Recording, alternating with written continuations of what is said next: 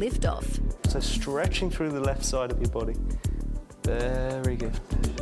I've joined a beginner's class in anti-gravity or aerial yoga. It's a new take on an ancient discipline that blends traditional poses with acrobatic style. And this is your anti-gravity aerial yoga hammock. This will be your dance partner for the next hour and a half. Good. Just be mindful of it. A little bit of release as you hit the midway point. So what you're going to get today is a mix of aerial arts, gymnastics, calisthenics, Pilates, dance, twister, anything else we can think of, all within the construct of yoga.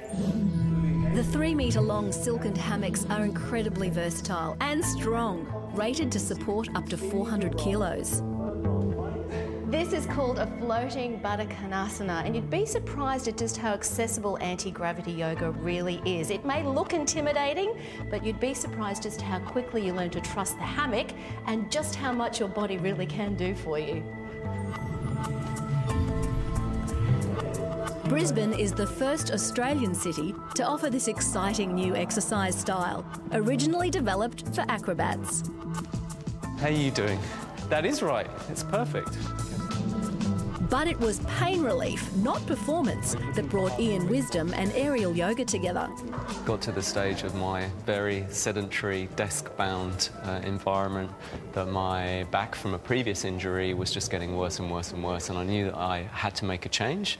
Um, so I decided to jack all that in and went on a bit of a, an adventure, discovering new things. And one of the things I discovered was anti-gravity in New York, and fell in love with it from the day I arrived. It, it essentially, I, I'd suffered sciatica for many years, and it gave me instant relief. And this practice really does come with a big smile, doesn't it? Yeah, it's a very, it's a very fun, creative, light-filled practice. It's not an austere, heavy practice. We like to say it's sincere without being serious. So, guys, we're going to do something called Vampire now, which is an anti-gravity signature move. It's very aesthetic, and you will clearly understand why it's called Vampire when you're in it. The hips to sink down, the shoulders so you can work. The same gravity-defying principle is in play at Zen Pilates Studio in Sherwood. In, in, in. Two more times for the pec muscle. Inhale, in and squeeze. Getting that pec muscle to work. The school offers Australia's first wall Pilates classes. Instead of hammocks, harnesses are used to give traditional stretching exercises a fun new direction. Way. We're using this pelvic swing in order that you can bring the weight onto your hip so that your arm can have a deeper degree of stretch. Instructor Sandra Lay says the practice is perfect for strengthening the core. And while you get all the body benefits, you're also having a good time. First, they think they can't do it because we're getting out from anti-gravity type work. We're on the wall, but it's really easy. I have a 75-year-old client that's doing it and she's happy she's coming back.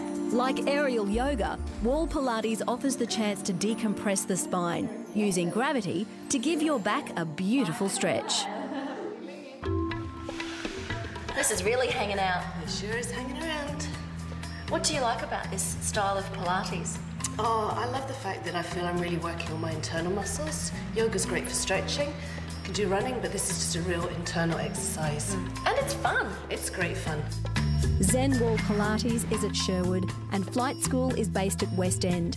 Both studios have introductory deals for newcomers, so check their websites for details. And if you'd like to learn how to teach aerial yoga, creator Christopher Harrison holds regular training sessions. For more ideas on making the most of your leisure time, click onto the Queensland Holidays, Queensland Rail Travel, and RACQ websites. When it comes to exercise, the biggest challenge for most people is that it can be very boring and repetitive.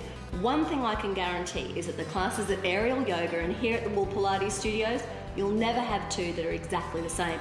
So if you're looking for something different, a little bit of variety, I think you should give it a go. That's all we have time for. Thanks for your company. We'll see you next time somewhere else in the great southeast. Goodbye.